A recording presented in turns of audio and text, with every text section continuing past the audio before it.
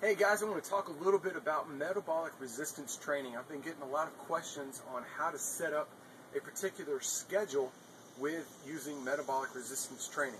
Now some people think in order to, to lose fat or to get a good result or to get good results that you have to go to the gym or down to your basement five, six, seven days a week. And the truth of the matter is most of my clients are typically on a three day a week schedule and they're still losing anywhere between two to three pounds of fat per week. Now, obviously, the diet has to be in tune, but that's a whole nother video. But I want to explain to you what the ideal schedule of a metabolic resistance training program would look like.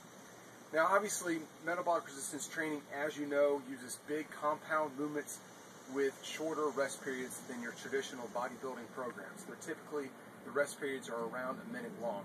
But it's basically when you superset or, or put up a circuit of non-competing exercises.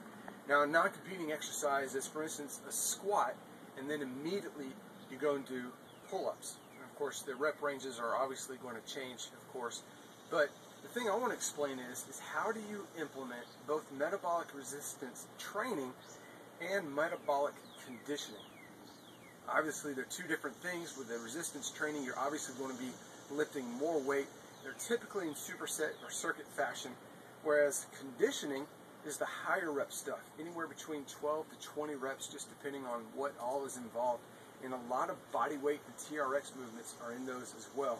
Now, obviously, if you don't have a TRX, you can still certainly do metabolic resistance training. So, I want to explain how to set up a four day schedule because that's a very popular format. It's actually the one that I'm on right now, this very week. I just started it. It's actually the third time I've done this program. It's actually from Craig Ballantyne. It's from May of 2011. It's called TT Metabolic Resistance Training. Of course, you can learn more about it by clicking on the link below. It's one of my favorite programs. But this is how it's set up. You got workouts A, B, C, and D. Okay? Workouts A and C are strength. Okay? So you're looking at metabolic resistance training, which of course all four programs are that. But the workouts A and C are strength based. Okay, so you're going to be lifting pretty moderately, I would say anywhere between 8 reps to 12 reps.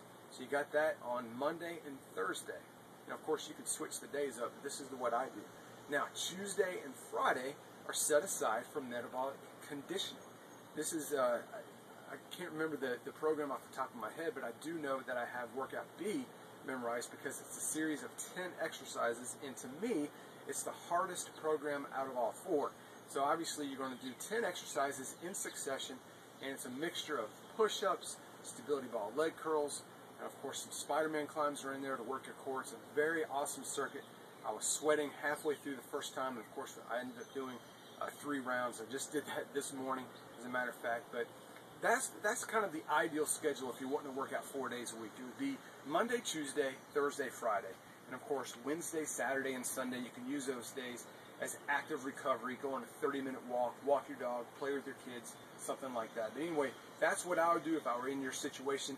If you're looking for a good four day work week or four day workout schedule and you want to use metabolic resistance training, that's pretty much how the system is set up in Craig's program. You can learn more about it by clicking on the link below. But again, it's four days. You have strength training on days one and three, and of course, uh, days two and four are no, excuse me, days one and okay, Monday and Thursday you're going to be doing strength. Tuesday and Friday you're going to be conditioning. That's the easy way to do it. So, with that being said, you can learn more about the program by clicking on the, on the link below. And in the meantime, enjoy your new metabolic resistance training schedule. I'll talk to you soon.